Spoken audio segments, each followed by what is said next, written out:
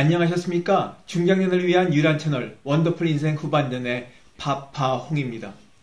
오늘 인사 말씀을 좀 천천히 했죠? 입에 익은 말이라 좀 빠르게 했더니만 제 닉네임을 파파홍이 아닌 파파오라고 들리나 봐요. 댓글에 파파오라고 쓰시는 분들이 계세요. 제 닉네임은 파파홍, 홍콩 할 때 파파홍입니다. 우리는 인생을 살면서 다양한 역할을 담당해 왔죠.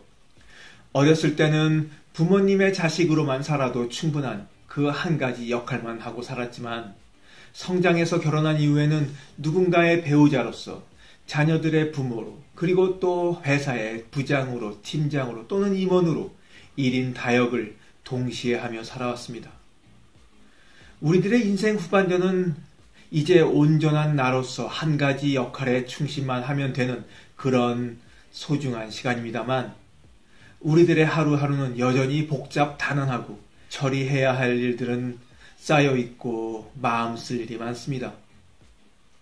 저녁 때 잠자리에 누워 지내온 하루를 돌이켜보면 뭔가 정신없이 바쁘게 하긴 했는데 대체 뭘 했나 싶을 정도로 소소한 일들이었습니다. 꼬리에 꼬리를 물고 나타나 우리를 혼돈 속에 빠져나오지 못하게 하는 그 일상의 소소한 일들이 우리의 행복을 갉아먹고 시간을 빼앗아가고 스트레스를 팍팍 쌓아줍니다. 일이 닥쳤을 때야 이것저것 따지지 않고 일단 눈앞에 보이는 일을 처리하고 끝내지만 사실 해도 그만, 안 해도 그만인 가치 없는 일들에 얽매여 100m 달리기 경주하는 스프린터처럼 하루를 쉴 틈도 없이 내달립니다. 열심히 사는 분들이죠. 열심히 사는 우리들입니다. 근데 문제는 실속이 없다는 거예요. 성취감도 없고. 왜냐하면 이것저것 따지지 않고 그냥 닥치는 대로 일을 했기 때문이에요. 그래서 오늘은 우리 인생을 좀 심플하게 만들어서 행복하고 여유있게 살아가는 방법에 대해 이야기 좀 해볼까 합니다. 우리 인생은 심플하고 간결하게 살아야 제맛이거든요. 구독과 좋아요 버튼 누르는 거 잊지 마시고 오늘도 영상 끝까지 함께 해주시기 바랍니다. 감사합니다.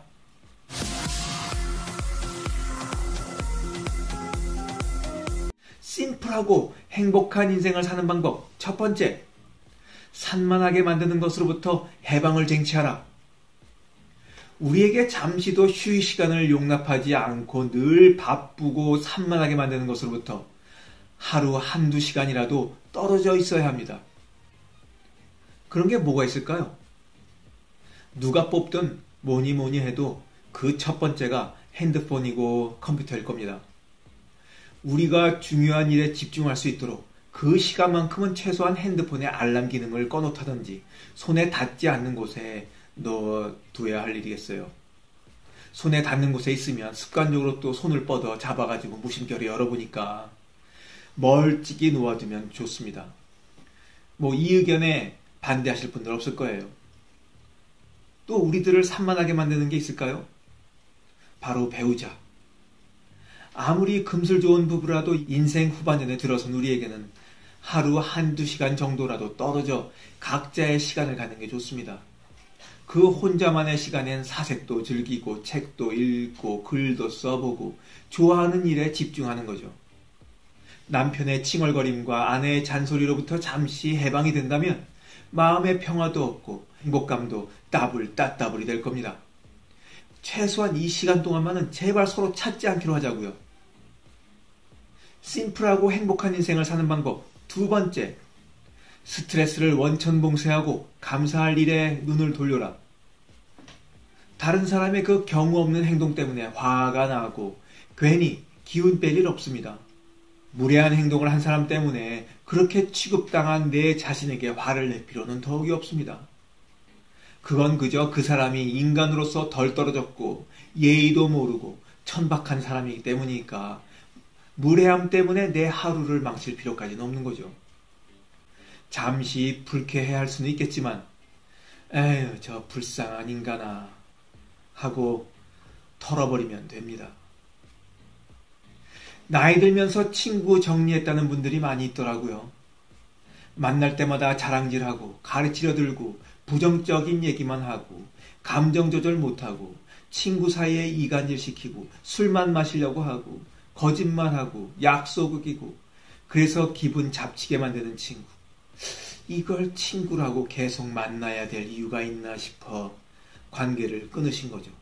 고민의 고민 끝에 말입니다. 잘하신 거예요. 좋지 않은 인간관계를 정리해서 그 스트레스를 뿌리부터 싹 없애버리는 것. 아주 좋은 예죠. 스트레스를 주는 원인들을 제거한 자리에 감사할 줄 아는 마음의 여백을 놓는다면 더할 나위 없이 좋습니다. 어제 댓글에 코로나 바이러스로 인해서 부정적인 뉴스에 지쳐 살기 힘들다는 분이 계셨습니다. 힘들죠. 사람도 만나기 쉽지 않고 여행도 만대로 못 가고 아침 뉴스의 시작이 늘 몇 사람 감염되었네, 어제는 몇 명 죽었네, 이런 얘기들이니까요. 하지만 눈을 돌려서 좀 밝은 면을 찾아보면 또 다르게 보입니다. 전 세계가 인류의 운명을 걸고 전염병과 싸움을 벌이고 있는 이 와중에도 우리 가족들은 여전히 모두 건강하게 지내고 있고 대한민국의 의료인들은 세계에서 제일 헌신적이며 유능한 사람들이고 또 대한민국이 방역을 통해 선진국임을 증명해 나가고 있고 어느 나라가 됐던 곧 백신이 나올 수도 있다는 뉴스가 들립니다. 여전히 세상은 감사할 일 투성이라고요. 심플하고 행복한 인생을 사는 방법 세 번째 머릿속 생각을 옮겨 적어라. to-do list라는 게 있습니다. 굳이 우리말로 하자면 해야 할 일 목록표쯤으로 하면 될까요? 말 그대로 해야 할 일을 쭉 적어 놓는 아주 단순한 리스트예요. 여기 화면에 보이시죠? 뭐 표라고 하기에도 좀 민망할 정도로 아주 단순합니다. 하루를 시작하기 전에 해야 할 일들을 우선순위대로 쭉 적어보는 겁니다. 그냥 머릿속으로 생각하고 일을 처리하다 보면 우선순위가 엇갈릴 수도 있고 또 건너뛸 수도 있거든요. 이렇게 일이 엇갈리기 시작하면 머릿속도 덩달아 복잡해지고 뒤엉키기 시작합니다. 해야 할 일들을 쭉 적어 놓고 보면 굳이 안 해도 되는 일, 다른 사람에게 부탁해서 처리해도 되는 일도 보입니다. 이런 것들은 과감히 싹싹 지워버리면 되는 겁니다. 머릿속에 담아두지 말고 해야 할 일들을 리스트에 적어서 시각화하면 머릿속도 한결 편하죠. 가벼워요, 머리가. 그렇게 우선순위가 정해진 일들을 하나하나 처리해 가면서 리스트에 있는 것들을 지워나가는 겁니다. 일의 속도도 붙고 또 중간중간 쉴 수도 있고요. 해치운 일들을 지우면서 눈으로 보게 되니까 성취감도 느끼게 되죠.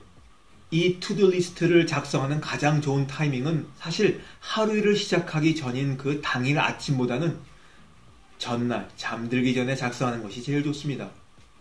그렇게 한다면 한결 가벼운 마음으로 잠을 잘 수 있거든요. 왜 우리가 잠드는 순간까지 어 내일은 뭘 해야 되니까 그거 잊으면 안 된다 꼭 어? 일어나서 꼭 기억해야 돼 이런 좀 강박을 가지면서 마음의 부담감을 안고 잠을 청할 때가 있어요.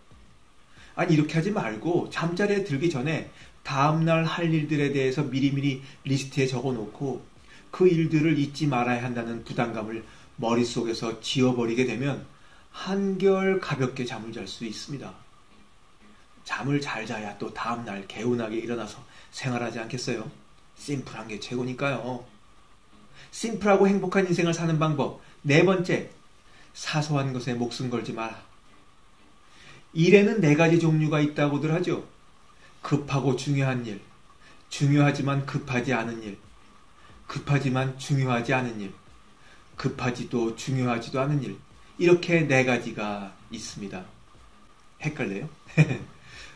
일을 시작하기 전에 이렇게 일의 경중 완급을 따져 우선순위를 정하고 그 순서에 따라 일을 처리해 나가면 아주 쉽습니다.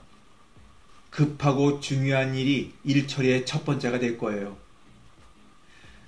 뭐 오늘 꼭 관공서 서류를 떼서 마감 전에 서류를 제출해야 한다든지 병원 가는 일 그리고 또 시간 맞춰 약을 복용해야 하는 것도 이런 부류에 넣을 수 있겠습니다. 그 다음 일이 급하지만 중요하지 않은 일이죠. 우리들 대부분이 이런 일에 시간을 또 많이 쏟아요. 우리의 목표와 비전과는 상관없는 일이지만 처리 기한이 좀 임박했다는 생각에 집중하게 됩니다. 예를 들자면 친구나 동료가 급하게 부탁하는 일이라든지 집이나 사무실로 찾아온 잡상인과 시간 보내는 일도 대개 이런 거예요. 근데 이런 일의 특성은 미안하다며 거절해도 무방한 일들이라는 겁니다.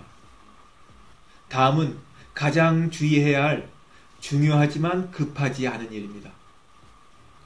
중요한 것은 알겠는데 이번에 안 한다고 해서 미룬다고 해서 당장 무슨 일이 벌어지는 것은 아니니까 바쁘다는 핑계로 하루하루 미뤄지기 십상입니다. 이런 종류의 일의 특징은 장기적인 목표와 비전을 짧은 시간이라도 매일매일 꾸준히 해야 하는 것들입니다.